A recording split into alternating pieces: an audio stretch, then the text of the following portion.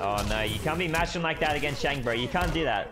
Hold on, Soul Steal? Of course I'm gonna do a Soul Steal. Plus, yo, wait, does this work? Hey, oh, he doesn't have Annihilation. KB? Dude, this is a sick round. Am I gonna get Ermac?